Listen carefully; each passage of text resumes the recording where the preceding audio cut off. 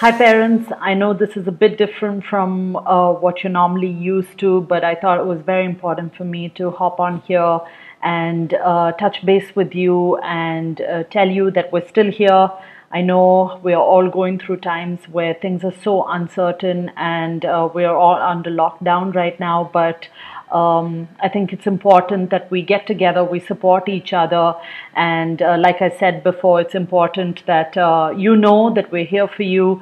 And uh, really quickly, I don't want to take too much of your time, but really quickly, I wanted to share five different things that I would like you to keep in mind, especially if your children are applying uh, to university right now um, and you haven't heard or you're wondering or extremely unsure about what to do, uh, here are some things that you can uh, just uh, pay attention to so the first thing is uh, that it's important that you keep in touch with universities, especially if the universities outside of India uh, continue to check their websites, continue to check the application portal. If there are emails that your child is getting, it's very important that you open these emails and read the kind of updated information that they're sending. Um, as you know, you've heard in the news, things are changing constantly, and so it the best way for you to get the direct information of the university that your child has applied to would be in these following ways.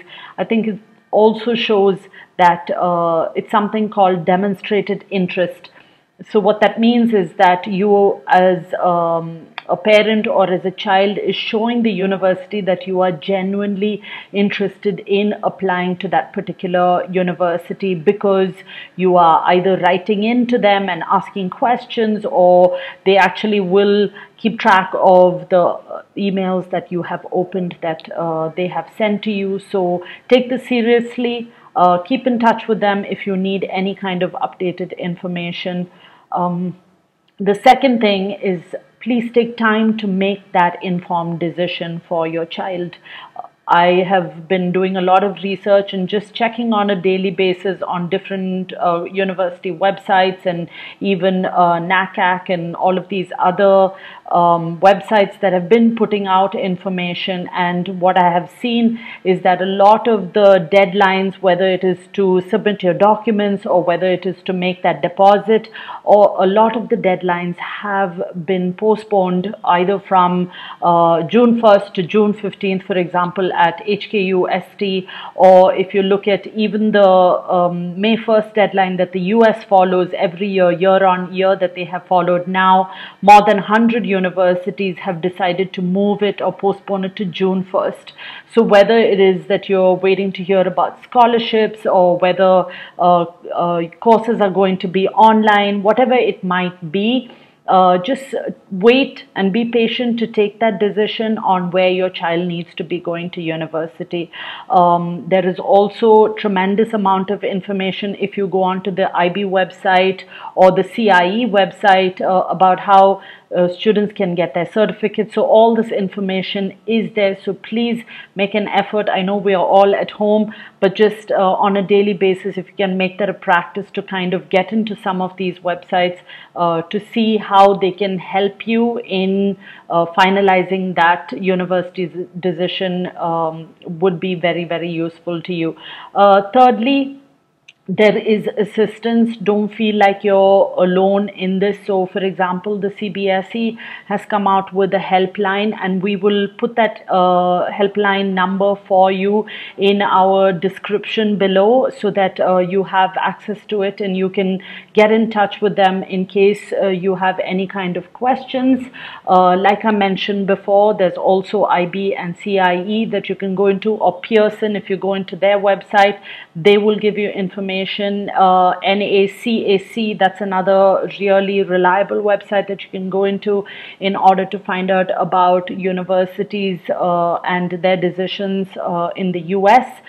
Um, I know that the CBSE and ICSE exams have been postponed and no particular decision has been taken. JEE, for example, has been postponed um, to um, to April and it's indefinite. We are not sure when they're going to have it. So I know for some of you, uh, these are not applicable, but it's important for everyone to be up to date as to what's happening with regards to uh, universities as well as entrance examinations.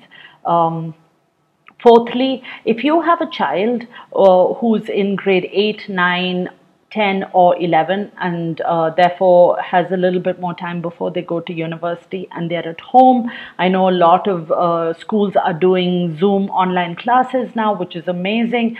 But uh, another thing that is, you know, a new product that has really come up is a virtual internship program. And uh, I have looked into it. I have looked at some of the websites, the careers that they have, and it is fantastic. These are short programs. They don't take take too long to do.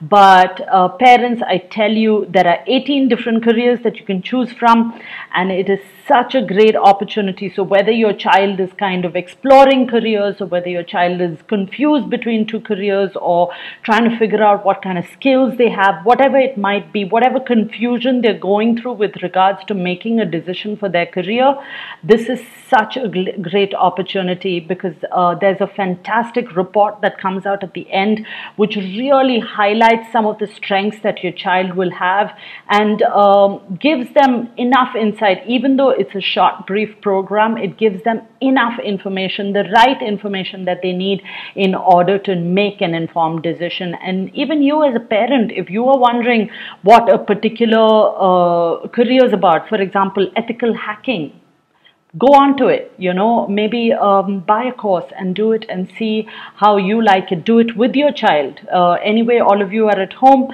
uh, maybe this is a great opportunity to learn something together. So uh, again i will put the link for it in the description that we have uh, below and please feel free to click on it and uh, register for some of these courses there are also, I know that this is a great time to do entrance exam prep. So especially if your child is in grade 11, they're getting ready for JEE or NEET, or if they are wanting to do SAT for next year, this is a great time. And lastly, out of all the research that I've been doing, one word that has been highlighted everywhere, whatever uh, website you go on to, it's the word flexible know that universities are flexible, whether here in India or whether um, uh, in the UK or US or Canada, wherever you are applying, know that the universities are there to support you and your child to provide any kind of assistance that you need, whether it be for visa or whether it is about uh, submitting applications or whether it's wondering how to send off the final high school transcript or the certificates.